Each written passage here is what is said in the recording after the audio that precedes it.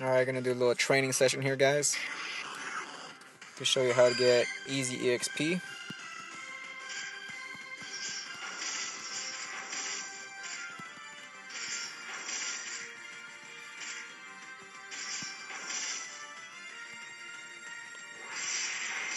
That was a quick ass win.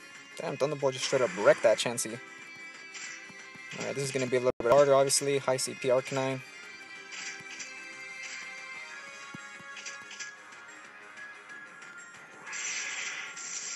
Just trying to do damage. Don't forget, you could use a team of six. So I mean, if you guys lose, then well, that's that's pretty bad. So sorry if you guys are pretty bad if you guys lose with six Pokemon.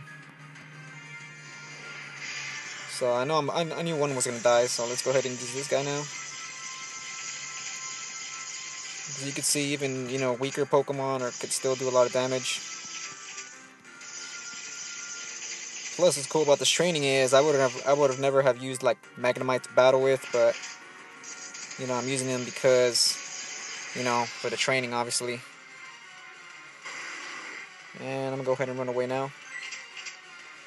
And you guys will see I get a lots lots of EXP there. Boom, leveled up that gym. So yeah, guys, that's pretty much how you train up your gym. Just stack your uh, your six uh, Pokemon.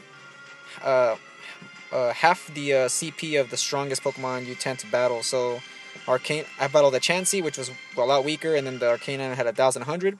So I gotta, you know, get half of that CP pretty much. So that's gonna be it for this uh, video.